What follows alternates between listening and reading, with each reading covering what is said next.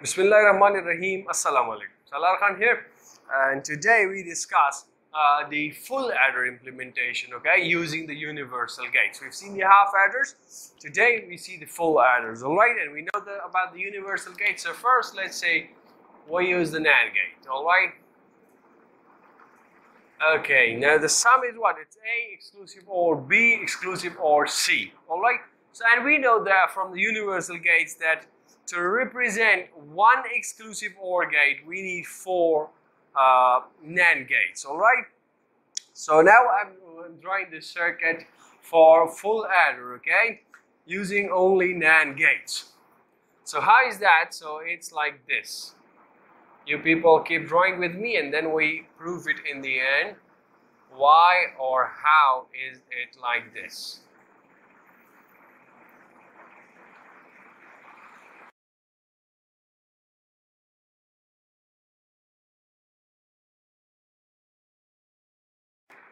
Okay. Now you do what? You have uh, the inputs as let's say A and A is also given to this gate. Similarly, we have a B also given to this gate.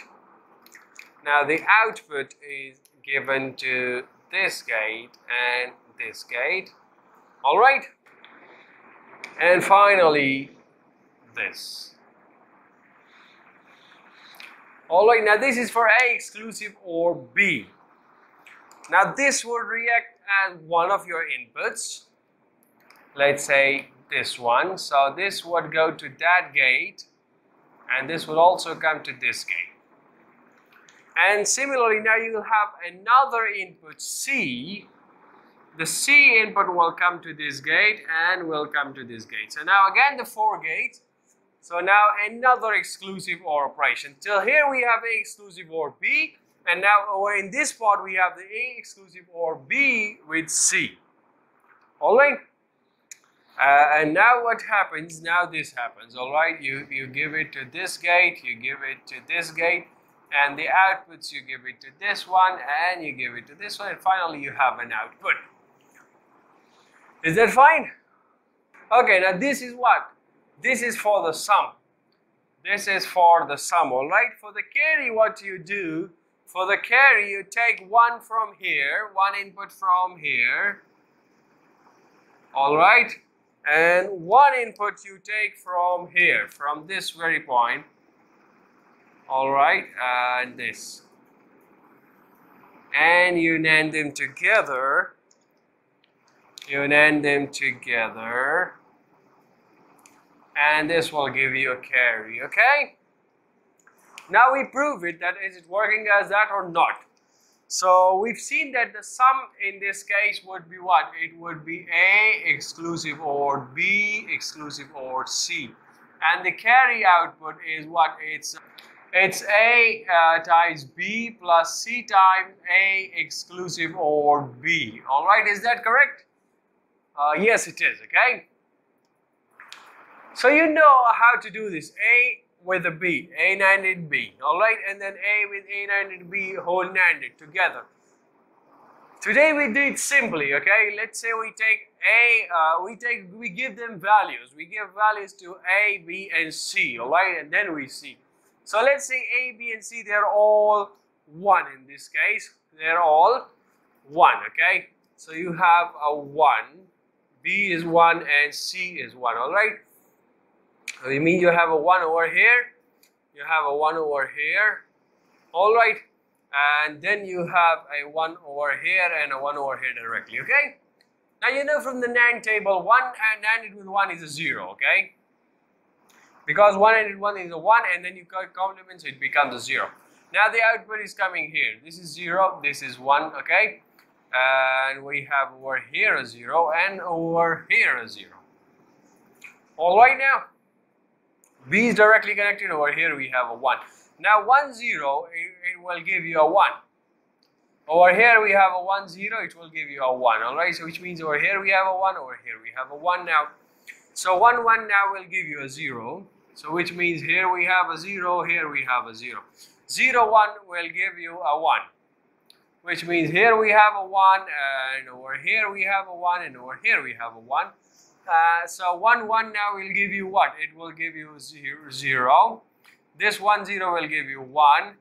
And this 0 comes here. 0, 1 will give you a 1. This 1 comes here. 0, 1 will give you a 1 again. So the sum is 1, the carry is 1, which is absolutely correct if a, B, and C all are 1. You know that from the previous videos, alright? Let's say we change the values. We give them a 0, 0, 1. Let's say we give them A 0, B 0, and C is 1. So now what happens? So now for this case, uh, the sum has to be 1 and the carry has to be 0. Alright, so we prove them now. So which means over here we have a 0, okay? We have a 0 here, now we have a 0 here, and we have a 0 here. So this 0, 0 now will give you a 1, which means over here we have a 1 and over here we have a 1. Now this 1, 0, it will give you a 1. And this 1, uh, 1, 0 will also give you a 1, okay? And now we have a 1, 1 over here, so this 1, 1 would give you a 0. So which means you have a 0 over here and a 0 over here, okay? Now C is 1 which means here we have a 1 and here we have a 1.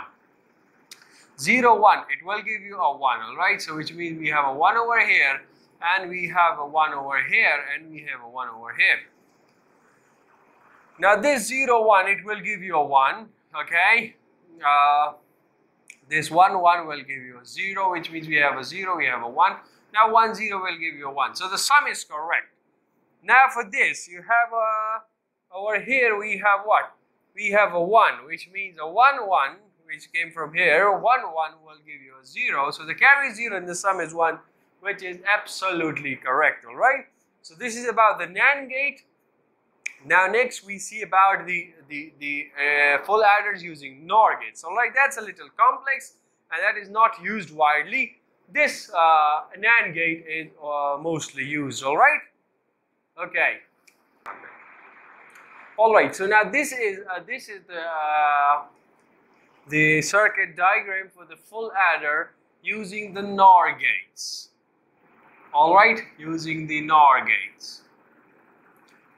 So you see, this is a little complicated, and and this this circuit is not very commonly used. We use the NAND gate circuit most oftenly. Okay, but still we have a proof. Uh, we we prove uh, if this is acting correctly or not. So let's say I represent this C by C input and the output carry by C output.